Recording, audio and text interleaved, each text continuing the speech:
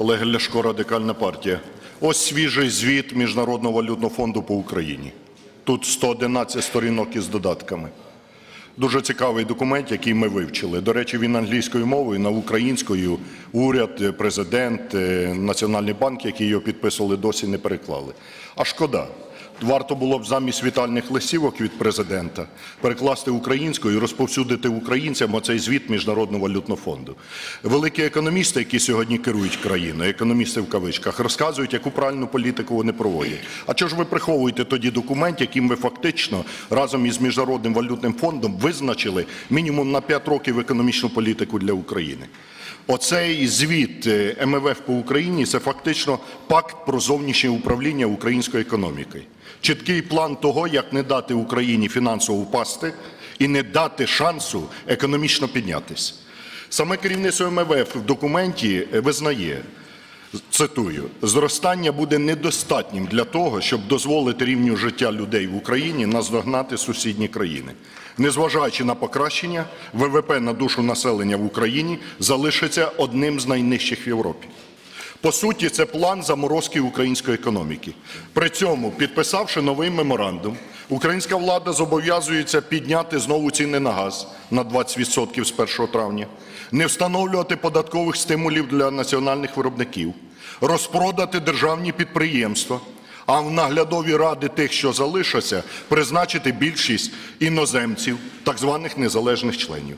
І ще в цьому документі президент, прем'єр, міністр фінансів і голова Національного банку пообіцяли, що закупівля медикаментів замість Міністерства охорони здоров'я і надалі будуть проводити міжнародні закупівельні організації. А також зобов'язали заморозити створення пенсійної системи другого рівня і у випадку дефіциту грошей додатково зменшити соціальні норми для нарахування субсидій. Люди вже сьогодні 80-90-літні бабусі, дідусі не отримують субсидій, тому що в них діти рідні в хаті прописані. Вони вимушені оформляти фіктивні розлучення, аби тільки отримати цю субсидію.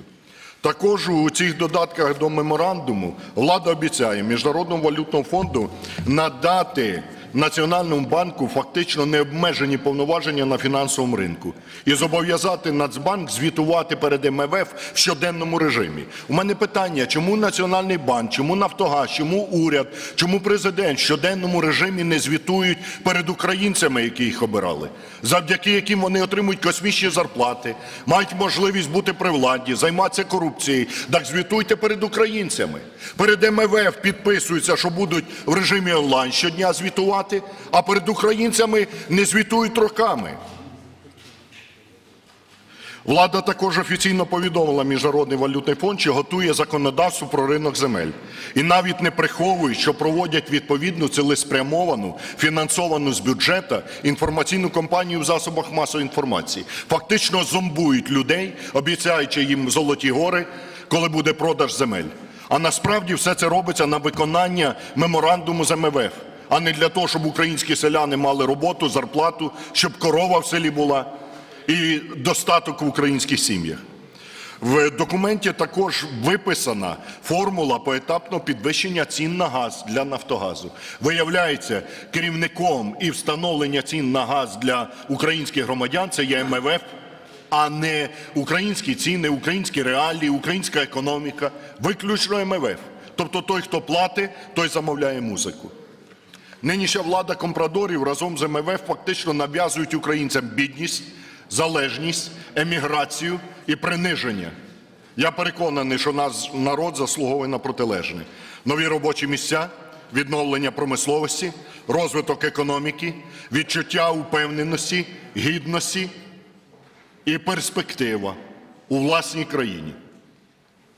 Наша команда дасть людям цю перспективу, і ми реалізовуватимемо саме ті українські пріоритети, які зроблять нашу країну сильнішою, а кожну українську сім'ю багатшою. Окремо, пане голову, хотів би до вас звернутися. Там є проект постанови про блокування закону про мораторій на продаж земель. Внаслідок цього він досі не розглянутий і президентом не підписаний. Я прошу завтра в парламенті поставити чи сьогодні поставити на відхилення цю постанову і дати можливість підписати закон про ринок земель для того про, е, про мораторій на е, 30 секунд. щоб президент е, мав можливість підписати закон про мораторій на продаж земель і припинити оці хитрованчики такі глитаїв і наших, і закордонних, щоб під будь-яким приводом е, е, протягнути ринок земель. Я хочу попередити всіх вас, хто хоче ринок земель.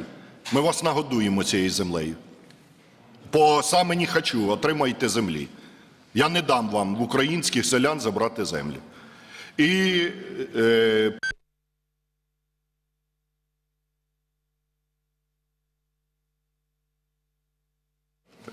Дякую.